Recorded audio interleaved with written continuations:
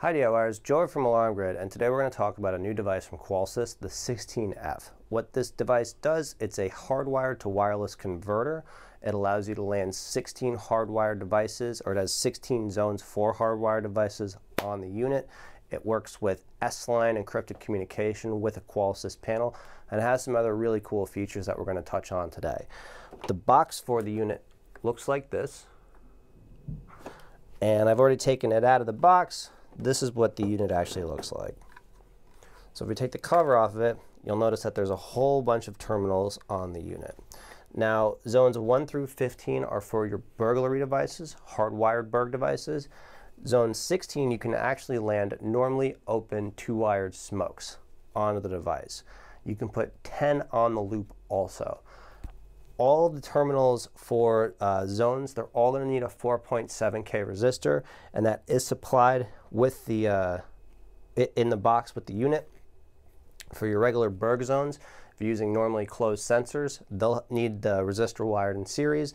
For the uh, for zone 16 with the normally open smoke detectors, that will need the resistor wired in parallel having the ability to land wired smokes onto the uh, onto the 16F is super convenient as it really expands the Qolsys system and what it can do and how you can function, especially for those installations where you're taking over an existing hardwired unit and there's existing two-wire smokes already up in the ceiling.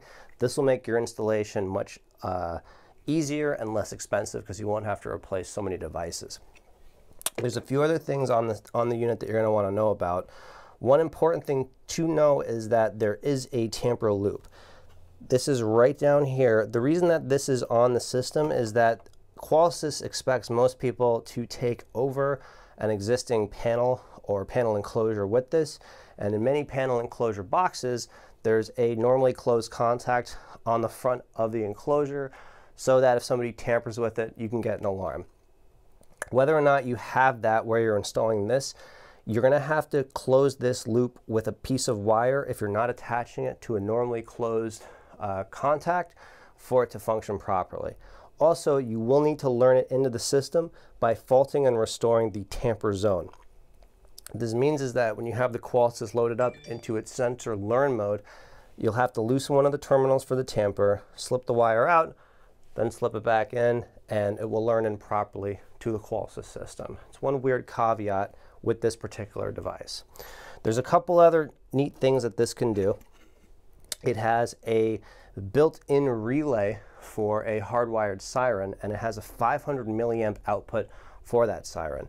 It's super convenient as all you have to do is attach the siren to the, uh, the 16F, and it will work when the system goes into an alarm.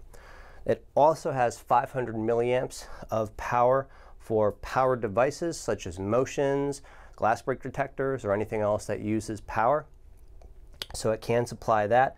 And it also has a battery uh, charging terminal, which you can integrate with a uh, 12 volt DC battery. We recommend using a 12 volt 4 amp battery. You can even use a 12 volt 12 amp battery.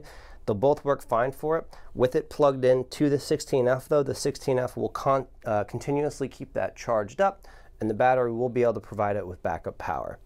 It also ships with a plug-in transformer, which is going to supply its main power to the board. And yeah, it's, it's a really convenient hardwired to wireless translator. Again, it does use that S-line technology, so if you do have an IQ2, it will send encrypted communication back and forth with the system. And if you do, if you are installing it into an existing panel enclosure, you can attach the, uh, the panel enclosure tamper right here to that tamper loop.